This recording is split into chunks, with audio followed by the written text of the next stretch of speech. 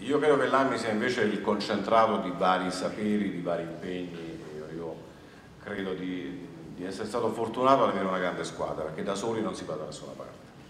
Quindi eh, ti ringrazio per i complimenti, ma che io eh, a questo punto rilancio all'intera associazione. Del resto qui siamo a Napoli in un convegno bellissimo che eh, ha visto Valentina come eh, protagonista unica di un'organizzazione straordinaria. Parlare dopo Maurizio che tra l'altro eh, scrive le, mie, le prefazioni dei miei libri, beh insomma è, è, veramente molto difficile perché insomma il sentimento che mette ogni volta quando scrive e quando legge è qualcosa di unico.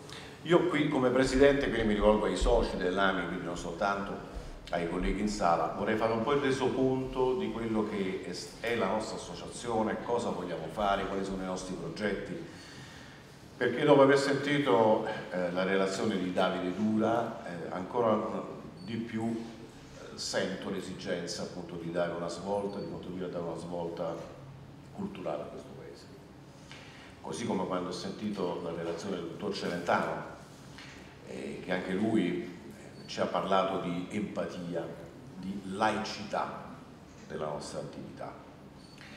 Ehm, noi siamo un paese molto strano, siamo un paese che vive un, su un binario morto del mondo occidentale. Siamo italiani, con tutti i pregi e purtroppo anche con molti difetti. Io spesso viaggio, mi trovavo 20 giorni fa ad Amsterdam per una causa di sottrazione internazionale dei minori, quindi ho, ho spesso contatti con gli avvocati stranieri. Nel 2011 organizziamo un congresso internazionale del diritto di famiglia e vi devo, devo, vi devo dire che ogni volta che vado all'estero mi sento in difficoltà perché pur provenendo da una culla di civiltà e da, dalla culla del diritto quale è l'Italia, oggi mi rendo conto che noi siamo il medioevo dell'Europa. E vi spiego perché.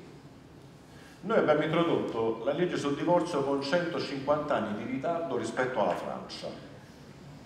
Siamo stati gli ultimi in tutto il mondo occidentale a introdurre le unioni civili e l'AMI ci ha messo la faccia da sola in un momento difficilissimo, tra l'altro io vivendo a Roma, quindi a 300 metri dal Vaticano, con Monica Cirinà, ma con tantissime altre eh, figure anche non politiche che, abbiamo, che, che, hanno lottato con me e io con loro per introdurre la legge 76-2016, per la quale poi c'è scritto anche un manuale con la dottoressa Anna Maria Fasano. Quante battaglie abbiamo dovuto affrontare in sette anni per introdurre questa legge? Sulle unioni civili. Quante ne ho sentite, quante lettere anonime, quanti attacchi feroci sui social ho subito io personalmente, ma l'intera associazione, semplicemente perché abbiamo detto che l'amore è amore e basta. È stato difficilissimo, è stato un sentiero tortuoso, fatto di polemiche, fatto di attacchi personali, anche di dibattiti televisivi in cui a un certo momento non sapevo più neanche come ribattere davanti alla stupidità degli argomenti che venivano sollevati. Tu sei il nemico della famiglia perché tu vuoi le unioni civili. Questo è il livello degli argomenti avversari.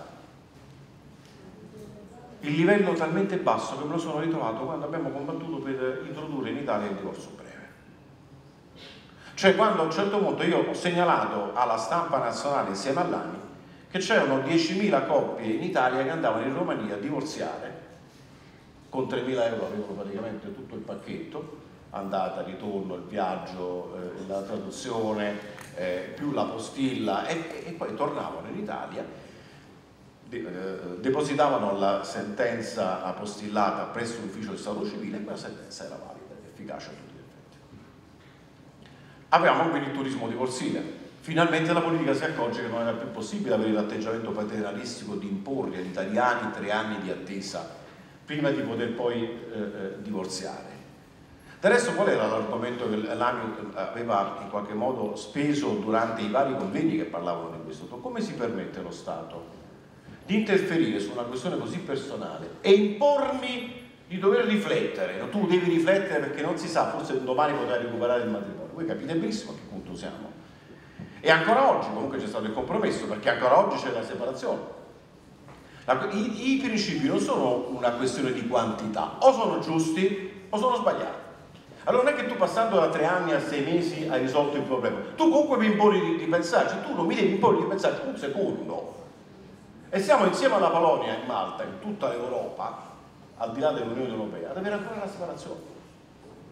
Non c'è stata un'azione di coraggio, neanche purtroppo, devo dire, e spero che la, il ministro Cartabia avrà questa forza, non c'è ancora la forza di dire abroghiamo una fase della, eh, del processo, quindi una fase patologica del matrimonio, che non serve a niente perché soltanto nello 0,001 dei casi le persone che eh, hanno chiesto la separazione cambiano idea.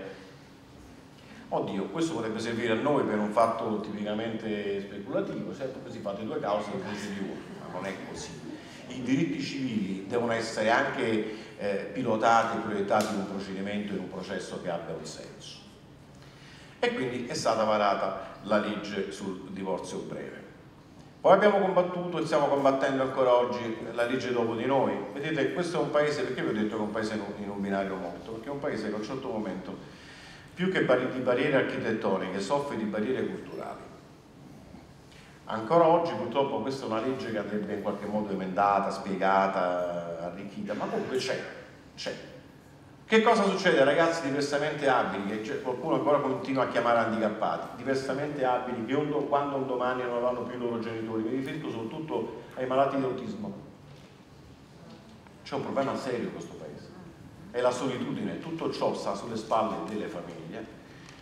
E quindi apri di cielo, altra battaglia, siamo riusciti a ottenere, meno cruenta ovviamente delle unioni civili, meno cruenta del, del divorzio breve, ma questo è un altro problema serio questo è un paese ancora pieno di barriere architettoniche, ancora sali nelle aule istituzionali e non ci sono i mezzi, gli strumenti per salire qui, per salire in queste aule. Chi è su una carrozzella deve essere trasportato in braccio dalle persone, uno porta la carrozzella, poi lo rimette al piano. E quante volte lo vedo nel Tribunale di Roma? vedo, ci sono due colleghi bravissimi che sono paraplegici, trasportati a braccio come dei sacchi, davanti a tutti. Stiamo parlando di Roma.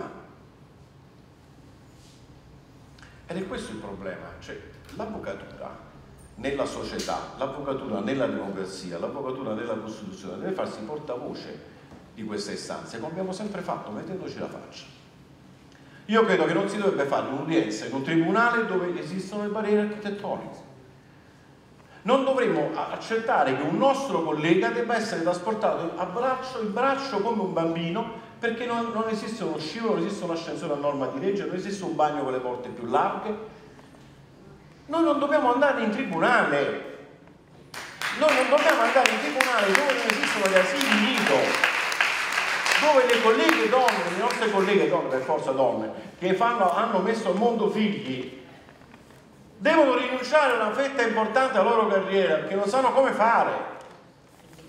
Noi siamo un paese incivile, eh, ma in Italia, fanno, in Italia, non si fanno più figli, abbiamo un tasso di natalità tra i più bassi d'Europa insieme alla Slovenia. E certo che oggi fare un figlio è un gesto di coraggio, di eroismo direi. Non c'è alcuna attenzione verso i temi della famiglia. Dicono che noi avvocati divorzisti siamo i nemici della famiglia, si dimenticano che il problema vero della famiglia non è quando l'avvocato deve ricevere una, una coppia che ormai non ce la fa più. Il problema è stabilire come incentivare l'amore, lo stare insieme, mettere al mondo i figli. Come si fa oggi? In, in, realtà dove un affitto di casa equivale a un intero stipendio medio di un, di un cittadino. Dobbiamo combattere per questo. Io credo che i consigli dell'ordine, il CNF, le grandi associazioni come la nostra, dovrebbero lavorare su questo. Noi abbiamo lavorato molto sulle pari opportunità, adesso abbiamo creato proprio un comitato importante all'interno della nostra associazione, io l'ho voluto insieme a, a, tutti i colleghi, perché noi in ogni tribunale, in ogni circondario, in ogni distretto dobbiamo cominciare a, a, a farci sentire perché la questione delle pari opportunità non riguarda soltanto quello che è il reddito medio dell'avvocata rispetto all'avvocato, perché quello pure è un problema serio, è il problema di quante avvocate possono essere anche mamme in tranquillità senza dover rinunciare ai propri clienti e ai, ai, propri orari di studio perché in molte realtà gli asili nido praticamente sono un ricordo, sono talmente pochi che non sono sufficienti. Questo è il ruolo dell'avvocato, il ruolo sacro dell'avvocato e soprattutto mettersi addosso questi problemi. E così quando io conobbi qualche anno fa, io rispetterò i dieci minuti, altrimenti ho finito. Presidente. Eh, conobbi qualche anno fa Mina, Mina Welby e me ne innamorai. Sentì la sua storia. A un certo punto le chiesi di, di raccontarmi un po' di quello che successe con Pier Giorgio e mi sto riferendo al fine vita, altra tragedia, altra battaglia, altre polemiche. E quindi eh, sentii Mina Webby, le parlai, a un certo momento dissi io vorrei parlare come Ani eh, del fine vita, del suicidio assistito, dell'eutanasia, della vicenda che ha riguardato Pier Giorgio Webby. E quindi là abbiamo avuto la fortuna di conoscere l'associazione Coscioni, quindi anche la fortuna di conoscere Gianni Baldini, che poi fatto in modo che diventasse presidente dell'AMI Toscana. Perché? Perché da quel momento c'è stata proprio una svolta culturale per la nostra associazione. Cioè non siamo più gli avvocati che si occupano di separazione e divorzio e basta. Ci occupiamo di tutto il panorama dei diritti civili, quindi della vita ma anche della morte, perché anche la morte ha bisogno della sua dignità. Perché qua, la, la, vivere, io l'ho detto, l'ho dichiarato a chiare lettere alla Corte Costituzionale quando ho fatto il relatore, quindi una sede eh, più unica che rara, ha detto voi non vi rendete conto che voi, pens cioè, voi pensate che la vita sia soltanto il battito. La vita non è il cuore, la vita è la dignità. La vita è non dipendere sempre da tutti. La vita è anche fatta di scelte come la morte. Noi siamo un paese in cui ci sono mille suicidi all'anno di malati terminali, quindi l'eutanasia c'è, l'ho detto ad Amato e a tutti gli altri giudici della Corte voi, voi lo sapete che l'eutanasia c'è, ma è l'eutanasia clandestina come è stato l'aborto clandestino per secoli nel nostro paese e facciamo finta di non vedere e di non sapere. Voi sapete benissimo che tanti medici di famiglia, tanti farmacisti per pietà cristiana ti danno una fiala in più di morfina. Sapete che significa una fiala in più di morfina? significa eutanasia. Allora perché non, non, non, non colmiamo questo vuoto? Noi abbiamo avuto il turismo della morte, abbiamo avuto il turismo divorzile, il turismo procreativo per la procreazione medicamente assistita si andava a Barcellona. Per ed esiste ancora un, fiume d'affari dell'estero che non vi dico. Turismo divorzile, adesso c'è il turismo della morte, c'è gente che valica, varca il Sempione ogni giorno a morire, a morire. Allora, che cosa deve fare l'AMI da adesso in poi in tutti i eventi? Cominciare veramente a pensare, al di là di quelle che sono tutte le questioni importantissime degli assegni di mantenimento, la casa coniugale, eh, l'affidamento condiviso, che sono comunque il pane quotidiano nostro, noi dobbiamo in tutte le sezioni, per tutti i soci che ci stanno sentendo in diretta in tutta Italia, da questo momento in poi, una metà degli eventi dell'AMI in qualsiasi distretto da Bolzano a Marsala dovrà trattare esclusivamente di questi temi. Dobbiamo cambiare marcia e cominciare a capire che l'avvocato della famiglia è soprattutto l'avvocato dei diritti e non soltanto l'avvocato della fase patologica della famiglia. Se riusciamo a fare così daremo sicuramente una svolta al nostro Paese. Vi ringrazio. Grazie Presidente Cassani, come al solito interventi sempre accorati, grazie davvero per il tuo impegno.